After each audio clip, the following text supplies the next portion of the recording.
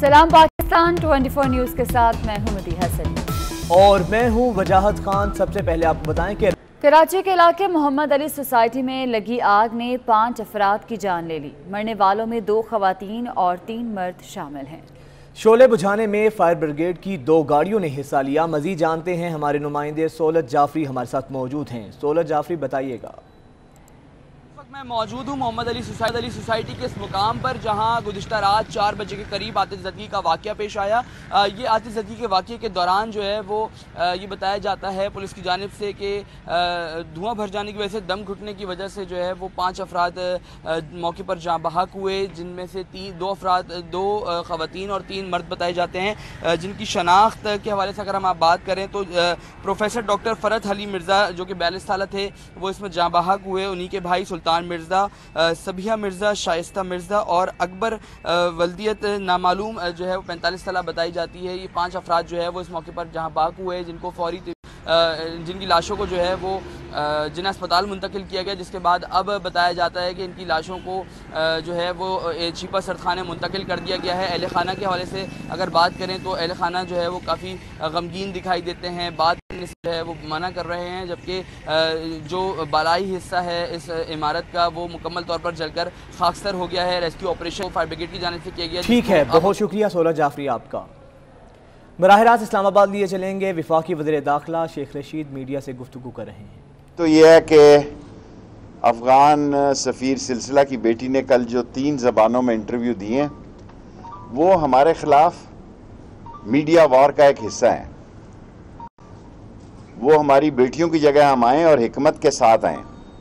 और अगर उन्होंने अपना ये रवैया जारी रखा तो हमारे पास सारी फुटेज हैं, हमारे पास सारे सबूत हैं फिर किसी को हमसे गिला नहीं होना चाहिए। सो मैं उनसे तोके रखता हूँ कि बेटियाँ साझी होती हैं कि वो पाकिस्तान को मुर्द इल्ज़ाम मत ठहराएँ, वो अगवा नहीं हुई। और हमने उनकी जो अफ़गान टीम आई थी, उनको मुकम्मल तौर पर सेटिस्फाई करके भेजा। और सेकेंडली नूर मुकत के जो कातिल है, उसकी फ्रेंसिक रिपोर्ट मिल गई है मैच कर गई है। कल जो हमारी मीटिंग हुई जिसमें फ़रोग नसीम और मैं ईसीएल के दो मिनिस्टर हैं। एक फ़रोग नसीम लॉ मिनिस्टर उनको डील करते हैं और इंटीरियर की तरफ़ से मैं करता हूँ। हमने उनके वालदान समेत समेत उन तमाम लोगों को ईसीएल में डाल दिए और जहाँ तक कल पीडीएम का इजलास हुआ है, वो एक अंजमन इमदाद सताइश बहमी की मीटिंग थी। जलसे तो पिछले एक साल से कर रहे हैं। दिसंबर आ गया, ये सेम आप देखें, पिछले साल से ये जलसे कर रहे हैं। हमें कोई एतराज़ नहीं है। आप कराची में 20 दिन के बाद जलसा करें, उसके बाद 10-15 दिन। फजल रहमान साहब ने जो फरमाया कि अफ़गानिस्तान पर मजाकरात होने चाहिए और हम बिल्कुल फजल रहमान साहब, यही तो इमरान खान कह रहा है। आपके बयान में और इमरान खान के बयान में क्या फ़र्क है? जो पीडीएम ने अफ़गानिस्तान पे बयान दिया है इमरान खान का भी वही बयान ही है कि हम अफ़गानिस्तान का मसला अफ़गानियों पे छोड़ते हैं और हम अफ़गानिस्तान में मजाकरात के और अमन के हामी हैं। यही बात आप कर रहे हैं। और बाकी जो आप ये कह रहे हैं कि जनाब ये मशीन कबूल नहीं इलेक्शन की तो फिर अगले इलेक्शन के बाद भी आपके यही बयान होंगे। शेख साहब एक अभी मैंने ख़त्म नहीं की। और जहाँ तक नवाज़ शरीफ साहब का है, उनकी कहते हैं शरियाने उन्होंने सबमिट किया, सुकड़ रही हैं। पाकिस्तान में आए जी, खुद आए, अपनी प्रैक्टिकल काम करते हैं, और उसके बाद मीडिया सारा मौजूद होता है, आपको कवरेज मिलती है। सो नवाज़ शरीफ के लिए यही बेहतर है, शहबाज शरीफ ने अपील नहीं की। सो इसलिए मैं नहीं समझता कि वो जाना चाहते हैं, वो यहाँ मीडिया मीडिया खेलना चाहते हैं, वो खेलें। और ये अंजमन इमदाद स्ताश बामी पी डी एम में है क्या एक फजल रहमान और एक नून लीग? बाकी तो कोई मेंबर ही नहीं है, नौ जमातों का मुझे कोई नाम लेके बता दे। नाम लेके बता दे कि इसकी एक सीट है। मेरी तरह एक सीट भी नहीं है उनकी। सो पाकिस्तान में मैं पीडीएम को कहना चाहता हूँ कि पाकिस्तान वज़ीर दाखिला शेख रशीद की प्रेस कॉन्फ्रेंस जारी है। अभी आपको बरा रास्त ले चले। बड़े दुनिया को मसले आएँगे सामने। मसलन अभी भी कहीं आग लगी हुई है जिधर कभी पहले आगे नहीं लगी जिस तरह साइबेरिया में।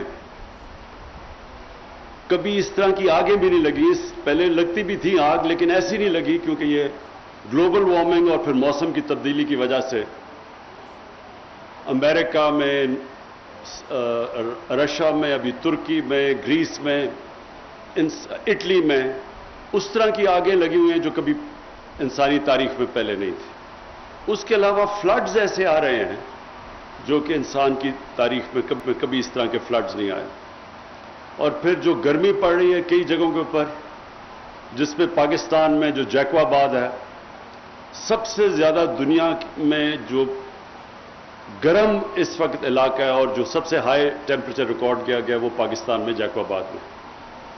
तो हमारे लिए ये दुनिया में भी इसकी बड़ी अहमियत है कि हम अब इस तरह की बिजली बनाएँ, जिससे ये जो ग्लोबल वार्मिंग इसके ऊपर इंपैक्ट ना पड़े। तो ये जो बिजली बनती है पानी के ऊपर, और ये जो तरबेला की फाइव टनल है, इससे जो बिजली पैदा होगी, ये साफ़ बिजली होगी।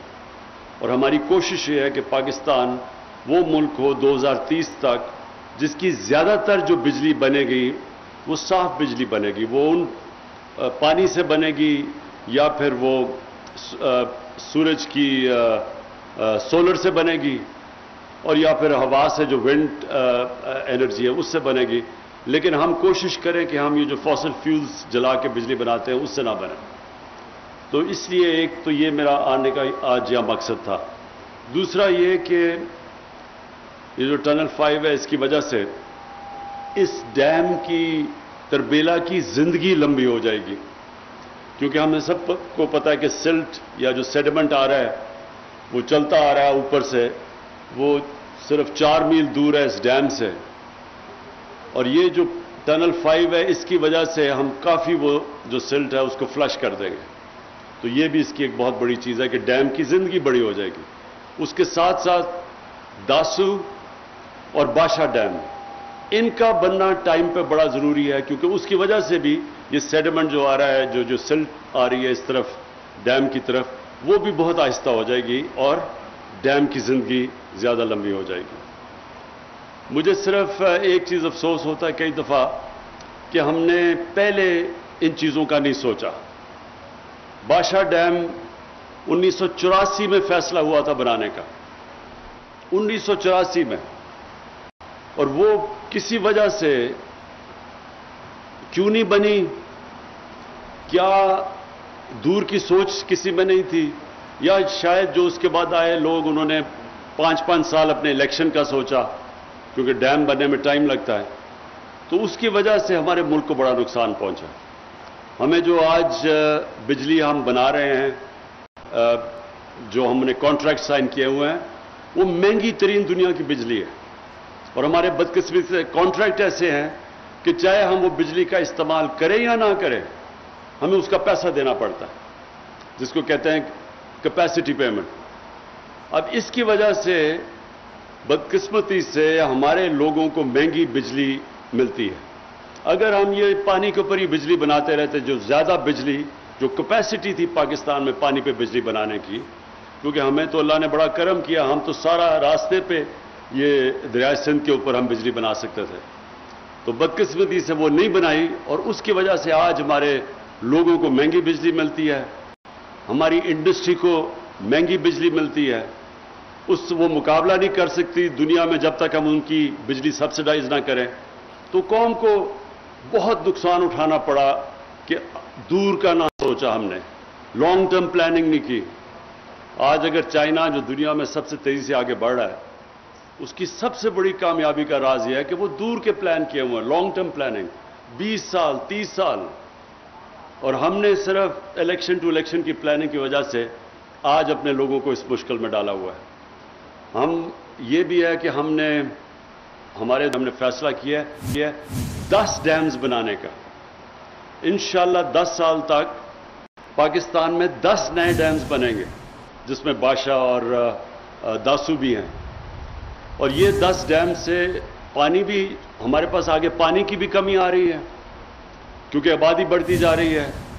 और जब तक हम डैम ही बनाएँगे, हम पानी स्टोर करेंगे तो हम ज़्यादा अपने लोगों को पानी दे सकेंगे, अपने किसानों को। हमारा जो अक्सर पानी है, पाकिस्तान के दरियाओं में, वो तीन या चार महीने में सारा आता है पानी। तीन या चार ग्लेशियर भी पिघलते हैं और बारिशें जो हमारी बरसात होती है। तो इसमें सारा तकरीबन 80 फ़ीसद पानी दरियाओं का इन तीन या चार महीने में आता है। तो इस पानी को अगर हम बचा लें रेजर्वोर्स बना लें तो ये हम सारा साल तक अपने किसानों को पानी दे सकते हैं। इसलिए हमारी हुकूमत ने 10 नए डैम्स बनाने का फैसला कर लिया है। डैम्स बननी शुरू हो गई हैं। कई पहली डैम, इंशाल्लाह, मोमन डैम 2025 में तैयार हो जाएगी। और उसके बाद आहिस्ता आहिस्ता 2028 में इंशाल्लाह बादशाह इंशाल्लाह बादशाह डैम तैयार हो जाएगी। और इस तरह के हम अपने आने वाले, अपने जो नस्लें हैं, उनके, उनका हम फ्यूचर प्रोटेक्ट करेंगे। मैं फिर से आपको वबडा और जनरल मुजम्मल, आपको आज खराज तहसीन पेश करता हूँ कि आपने बड़ा, कोरोना के बावजूद जो काम चल रहा है डैम्स बनाने का उस पर कोई कोई रुकावट नहीं हुई, उसके, आप मुसलसल अपना काम करते रहे मैं आपको खराज तहसीन फिर से पेश करता हूँ। शुक्रिया। वजी अजम इमरान खान डैम के पाँचवें तोसीही मनसूबे का संग बुनियाद रखने की तकरीब से खिताब कर रहे थे। उन्होंने कहा कि 2028 में भाषा डैम मुकम्मल हो जाएगा। उन्होंने कहा कि बदकिस्मती से हमने सिर्फ़ इलेक्शन टू इलेक्शन मुहिम की तैयारी की। भाषा डैम बनाने का फैसला उन्नीस सौ चौरासी में हुआ था। रावलपिंडी में कोरोना के बढ़ते केसेस के बावजूद शहरी एसओपीज पर अमल दरामद नहीं कर रहे। मुतद शहरी मास्क और समाजी फासले की पॉलिसी पर अमल दरामद न कर सके। कोरोना एसओपीज के हवाले से शरबत वाले के साथ दिलचस्प मुकालमा हुआ। साउथ बर्ड से जानते हैं। साउथ बताइएगा। बिल्कुल मुल्क में कोरोना केसेस केसेस बढ़ने के साथ साथ अम्बाद की तादाद में भी इजाफा हो रहा है लेकिन शहरी कोरोना के जो एस ओ पीज़ हैं उस पर अभी भी अमल दरामद करते नज़र नहीं आ रहे। रावलपिंडी के एक इलाके में मैं मौजूद हूँ और अक्सर लोग यहाँ पर बगैर मास्क के फिर रहे हैं। लोगों से इसकी वजह जानते हैं। जनाब अलैक्म आपने मास्क नहीं पहना हुआ। आप बताएँ आपको अपनी ज़िंदगी से क्या प्यार नहीं है? प्यार क्यों नहीं है? मास्क से बगैर भी गुजारा होता है ना। नहीं मास्क पहन के अगर आप ये शरबत बेच लें आपका तो काम ज़्यादा बारीक है कोई आपके पास कस्टमर आता है। और अगर आपको कोरोना हो गया हो आप शरबत बेच रहे हैं उसको आप कोरोना वाला शरबत पिला देंगे। नहीं जी कोरोना वाला क्यों पिला देंगे? मास्क ज़रूर है हक है हर आदमी के लिए चाहिए कि मास्क पहनो। हम भी पहनेंगे क्यों नहीं पहनेंगे कब पहनेंगे? जब कोरोना हो जाएगा। अभी पहनेंगे यार कोरोना का तो पास टीके लगाए अगर अगर कोई कस्टमर आए उसको कोरोना हो आपको तो नहीं पता। आपको कोरोना हो जाए फिर आप क्या करेंगे? बस जो अल्लाह की तरफ़ से लिखा वो हो सकते हैं ना। नहीं आप कम अज़ कम मास्क तो पहने ना मास्क पहन के तो लाजिमी सांस हमारा खुद बंद हो जाता है। रावलपिंडी के मुख्तलिफ़ इलाकों में एस ओ पीस पर अमल दरामद उस तरह नहीं हो रहा है, जिस तरह होना चाहिए। और अनफॉर्चुनेटली जो ज़िले इंतज़ामिया की टीमें हैं रावलपिंडी डिवीज़न की वो भी नज़र नहीं आ रही मार्केट्स में। जो एक्सक्यूज़ लोग पेश कर रहे हैं कि हम मास्क नहीं पहन रहे मास्क पहनने से उल्टा हमारा सांस घुट जाएगा। इस तरह के रवैयों की वजह से इनके जो केसेस हैं उनमें मजीद इजाफा होता चला जा रहा है। और रावलपिंडी के इलाके में जैसा कि आपने देखा कोरोना एस पर उस तरह अमल दरामद नहीं हो रहा है ठीक है बहुत शुक्रिया साउथ बट आपका। और अभी आपको बताएँ कि जेहलम के करीब पाक आर्मी का तरबियती तैयारा मशाक गिर कर तबाह हो गया। हादसे में पायलट और सेकंड पायलट महफूज रहे। आपको बताएँ कि जेहलम के करीब पाक आर्मी का तरबियती तैयारा मशाक गिर कर तबाह हो गया। हादसे में पायलट और सेकंड पायलट महफूज रहे। उस्मान खान से मजीद जानते हैं। उस्मान खान, तैयारा गिरने की वजूहत क्या मालूम हो सकी अभी? देखेंगे जेलम के करीब पाकिस्तान आर्मी का तरबीती मशाक तैयारा गिर के तबाह हुआ है। तैयारा तरबीती मशकों के दौरान जेलम के इलाके चमालिया के मकाम पर गिरा। हादसे में पायलट और जो ट्रेनिंग पायलट थे, वो महफूज रहे। पाक फौज की इमदादी टीमें जाए वकुआ पर जाए हादसा पर पहुँच कर इमदादी कार्रवाइयाँ शुरू कर दी और पायलट और ट्रेनिंग पायलट को अस्पताल मुंतकिल करके तिब्बी मुआयना किया जा रहा है। जी। ठीक है, बहुत शुक्रिया उस्मान जावेद आपका। कराची के साहिल पर फंसे जहाज़ को निकालने के लिए मंगवाई गई क्रेन बरदार बोट को ताहाल निकाला नहीं जा सका। क्रेन बरदार बोट को निकाले बगैर जहाज़ की रिफ्लोटिंग का ऑपरेशन नहीं हो सकता। इसी पर बात करेंगे अयाज राना हमारे साथ मौजूद हैं। अयाज राना बताइएगा इस बारे। जी, बिल्कुल, जैसे कि हैंगटोंग 77 के लिए जो बचाने के बचाने के जो रेस्क्यू का जो अमल था, उसके लिए दो जो शिप्स आए थे, यानी कि जो छोटी बोट्स मंगाई गई थी, उसके अंदर एक टग और एक क्रेन बार्ज थी, जिसको कि क्रेन जिसपे नस्ब थी, उसका कल हमने ये बात रिपोर्ट की थी शाम में कि उसका एंकर टूटने के बाद जो है वो वो भी समंदर किनारे यानी जहाज़ के साथ आके इस वक्त वो रेत में फंस चुकी है। जहाँ आज कहा यह जा रहा था कि जहाज़ के लिए जो उसको बचाने का, उसको रीफ्लोट कराने का जो ऑपरेशन था, वो आज शुरू किया जाना था, लेकिन जिसने ये काम पूरा शुरू करना था, अब वही टग बोट जो है, पहले जो है वो बार्ज क्रेन बार्ज को निकालेगी और उसके बाद अगर वक्त और मौसम ने साथ दिया और हाई टाइड्स ऐसी रहीं और हवा का दबाव अगर कम रहा तो यकीन जहाज़ तरीके से हमने देखा कि उसने अब तक जो ज़मीनी उसके ऊपर जो उन्होंने तमाम तर तैयारियाँ की हैं, उसको, उसका जो फेस है अब तकरीबन 35 से 40 डिग्री तक हम देख रहे हैं कि वो अब समंदर की तरफ़ उसकी नोज़, यानी कि जो मुँह है जहाज़ का, इस तरफ़ हो चुका है। पहले जो क्रेन है, क्रेन बार्ज को निकालने का अमल किया जाएगा, उसके बाद अगर वक्त और मौसम ने साथ दिया तो ये जहाज़ के ऊपर भी मज़ीद काम किया जा सकता है। ठीक है, बहुत शुक्रिया आपका। अभी आपको बरह रास्त ले चलेंगे Lahore chairman NAB justice retired Javed Iqbal तकरीब से खिताब कर रहे हैं। चले जाएँ और अपना आप, आप रिलीफ ले लें। बाकी एक ये बात तवातर से दोहराई जाती है कि जी NAB plea bargain, bargain कर लेता है। नैब जब प्ली बार गेन करता है तो कानून के मुताबिक करता है। कानून में प्ली बार गेन की शिक मौजूद है। नैब के इख्तियार हैं कि आप प्ली बार गेन करें। और दूसरा मतलब मैं जो तनकीद करने वाले असहाब हैं इस एंगल से स्पेशली प्ली बारगेन से, उनसे मैं गुजारिश करूँ कि प्ली बारगेन की हतमी मंजूरी अदालत देती है।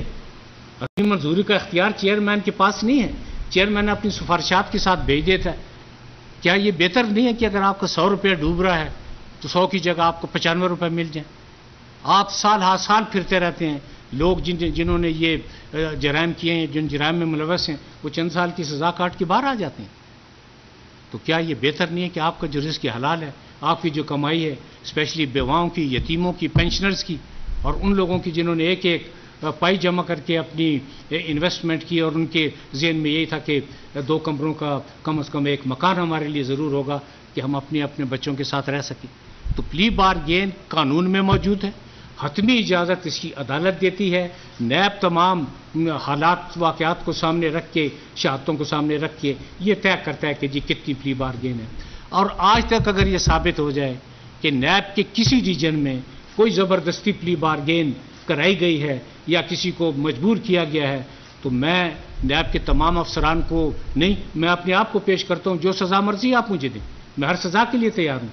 लेकिन आज तक ऐसा नहीं हुआ कि किसी से ज़बरदस्ती प्ली बार गेन कराई गई हो, बल्कि ह्यूमनिटेरियन ग्राउंड्स को भी सामने रखा गया है, उस आदमियों की मजबूरियों को भी सामने रखा गया है, हालात को भी सामने रखा गया है, मीशत को भी सामने रखा गया है, और तमाम चीज़ों को सामने रख के, लेकिन बात यह है कि तमाम चीज़ें एक तरफ़ जो आपकी मजबूरियाँ थी, उन पर तो मैं कंप्रोमाइज़ नैब नहीं कर सकता। नैब ने यह आपकी आपकी, आपके रिस्क हलाल थी, आपकी कमाई थी, ये आपको वापस दिलाना मकसूद था, और इस वक्त तक जो मेरे पास जमा तकसीम जो मैंने की है तकरीबन 10 अरब से ज़्यादा वो रकूमात हैं जो नकद लाहौर रीजन इस वक्त तक तकसीम कर चुका है। आप जो लोग इसमें मुतासरीन हैं या जिनको ये रकम मिली है वो पचास साल भी फिरते रहते तो शायद इनका इन, इस रकम का उनको दसवां हिस्सा भी ना मिल सकता। तो तो आप इन चीज़ों को भी सामने रखें। ली बार गेन का जो कंसेप्ट है सिर्फ़ हमारे कानून में नहीं है बल्कि दुनिया के हम उनके बहुत मशहूर हैं। उन्होंने कहा कि अकाउंटेबिलिटी कोर्ट के जजेस की जो है वो तादाद बढ़ाई जाए तादाद में खातर खातर खा इजाफा हो रहा है। और हम खुद भी अपने तमाम रेफरेंसेस का जायज़ा ले रहे हैं। और वो जायज़ा इसलिए ले रहे हैं कि फ़र्ज़ कीजिए कि एक रेफरेंस में अगर पचास से ज़्यादा विटनेसेस हैं तो आदमी एग्जामिन करे कि भाई कि भाई मैटर तो क्वालिटी करती है ना। क्वांटिटी मैटर नहीं करती। ये डी पी साहब बैठे हुए हम मुझसे एग्री करेंगे कि कानूनी शहादत में क्वालिटी मैटर करती है। ऐसे भी सुप्रीम कोर्ट की केसेस मौजूद हैं, जिनमें एक गवाह की बयान पर सज़ा मौत तक हुई है, जो साबित करती है कि जी बुनियादी जो चीज़ है, वो क्वालिटी है, वो क्वांटिटी नहीं है।